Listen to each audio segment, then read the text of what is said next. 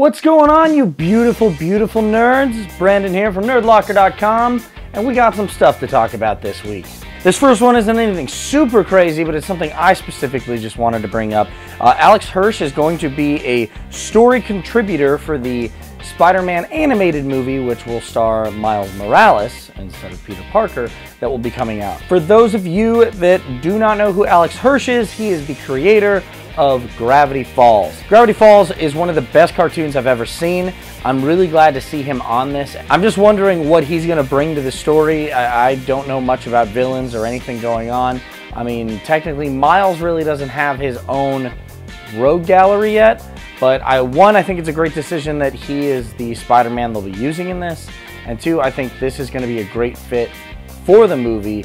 I can't wait for this. Next up, uh, kind of something odd, but Jared Leto is in talks to star in the Tron reboot.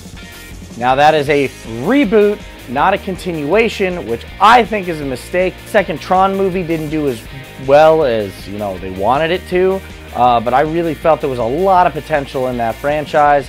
Uh, the second movie was a much needed upgrade to the first movie, and uh, although I'm excited to see more Tron, kind of bummed we're uh, starting over already. I feel like there's there's enough established in that world that you could do a different offset story. But hey, man, either way, uh, we could be getting more Tron. I'm not going to argue with that.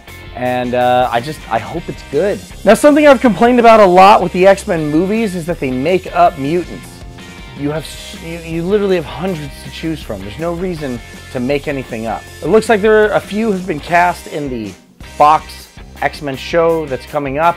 Uh, Polaris is the name that I saw thrown around. There were a few others, and stupid Brandon forgot to write them down before he filmed this. Oh, Blink, Blink, Blink was another one. I like that we're moving in a direction that they're not just gonna have Nameless Mutant number four. Like, even in Legion, which I'm enjoying a lot, there's still a number of mutants that aren't, you know, actual mutants. You have so many to choose from, Get out there.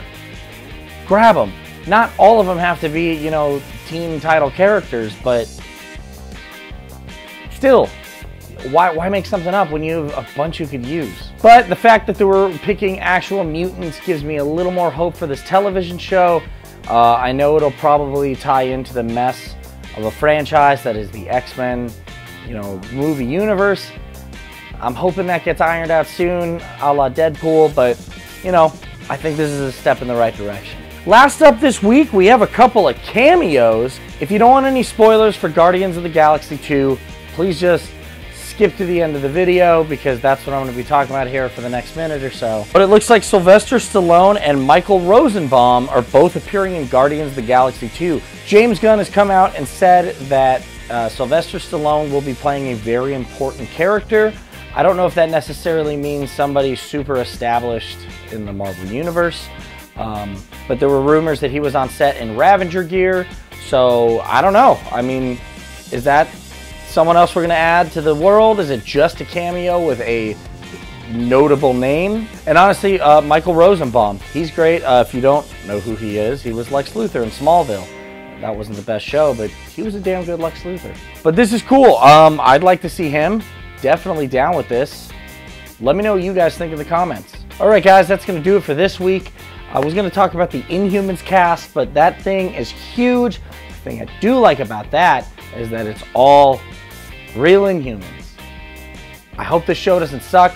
I still think it's not the best idea to go from what was supposed to be a movie franchise to, you know, a television show. But we'll see. You know, Marvel really hasn't done much wrong. On that topic, I just finished Iron Fist. I don't think it was the best Netflix show, but I definitely don't think it sucked. I mean, started a little slow, but I mean, I, I, I liked it, guys.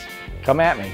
Fight me in the comments. Like I said, that's to do it for this week. I will see you here next week. And until then, please, you, you, you, you, you, all you, have a nerdy week.